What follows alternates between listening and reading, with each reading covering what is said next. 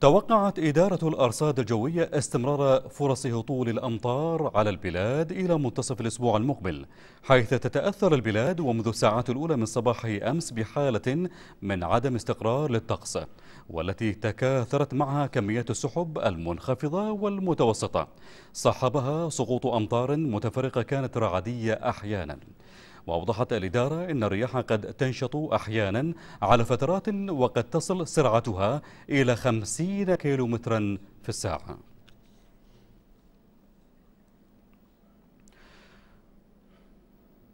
وللحديث حول هذا الموضوع ينضم إلينا عبر الهاتف خبير الأرصاد الجوية الزميل عبد العزيز القراوي مساء الخير أخ عبد العزيز. هل ستشهد البلاد اليوم ذات الطقس الذي مرت به خاصة بعد منتصف الليلة الماضية؟ تفضل. مساك الله بالخير أخوي صالح. إي نعم لا تزال حالة عدم الاستقرار مستمرة معنا خلال الساعات القليلة المقبلة. وهناك نلاحظ على رادار الطقس التابع لإدارة الأرصاد الجوية أن بدأت تشكل السحب الركاميه من الحدود الشمال الحدود الشمالية والشمالية الغربية وأيضا المناطق الغربية من دولة الكويت وهناك أيضا فرص وكميات أمطار متفاوتة في بعض المناطق تصاحبها سرعة رياح قد تتجاوز أحيانا 50 كيلو متر في الساعة. ومن المتوقع أن تستمر معنا هذه الحالة إلى نهار الغد. ومن بعد تبدأ التحسن التدريجي في حالة الطقس خلال يوم الجمعة بالليل إلى يوم السبت. ولكن لا تزال هناك فرص الأمطار المتفرقة مستمرة معنا إلى منتصف الأسبوع القادم. ولكن لا هناك ضعف بالحالة. ما نتوقع أنها راح تكون بنفس شدة الحالة اللي مرت البلاد اليوم الفجر وأمس الفجر.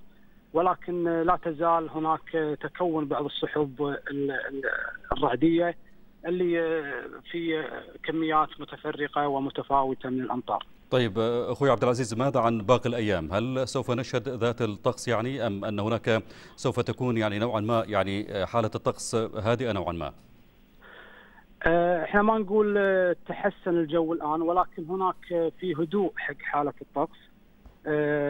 من المتوقع من المتوقع إنه راح يبدأ في تغذية من خلال الرياح الجنوبية الشرقية المحملة في بخار الماء هذه دائما تغذي هذا النوع العواصف وهذا النوع من الأمطار ولكن فرصة الأمطار أيضا هي مستمرة معنا يعني على المدى الطويل توقعات وخرائط الطقس المختصة في المدى الطويل من المتوقع أن تستمر معنا خلال الأسبوع إلى عشر أيام القادمة. هناك في نظام جوي سوف يؤثر على منطقتنا ابتداء من منتصف الأسبوع القادم أو في نهاية الأسبوع القادم ولكن إحنا راح نتابع الخرائط الجو السطحية وخرائط طبقات الجو العليا وراح نحدث آخر وراح نتابع ونحلل آخر تحديثات هذه الخرائط فإن صدقت هذه الخرائط راح نواجه في نفس الحالة اللي مرت فيها البلاد اليوم الفجر من في نهاية الأسبوع القادم إن شاء الله نعم كل الشكر والتقدير لخبير الأرصاد الجوية زميل عبد العزيز القراوي شكرا لك حي. حي.